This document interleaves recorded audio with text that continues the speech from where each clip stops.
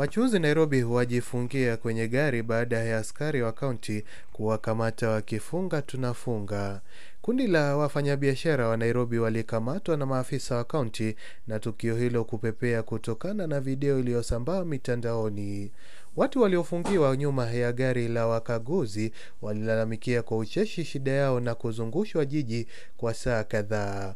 Mwanamke mmoja alifanikiwa kufunga mlango wa gari kutoka ndani kwa kitambaa huku mwingine akiweka kamera ili kuonyesha maafisa wa kaunti wanaodaiwa kuwa kwenye mkutano nje.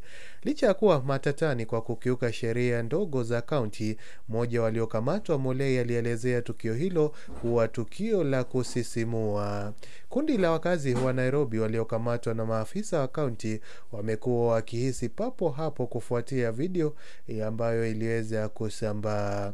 Wanaonekana kuwa wafanyabiashara. Kikundi hicho kilijifungia nyuma ya gari la polisi wakiweza kufanya mzaha huku wakicheza juu ya shida zao.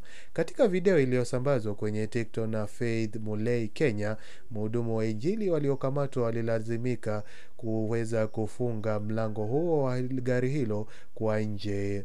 Mwanamke aliyerekodi tukio hiyo aliyeweza kumshangilia mwenzake huku akifunga mlango kwa ndani kwa kutumia kipande cha kitambaa.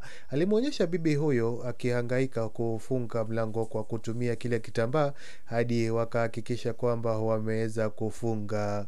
Waliweka kamera ili kuonyesha nje kupitia kamera ambao walidai maafisa kaunti walikuwa na mkutano.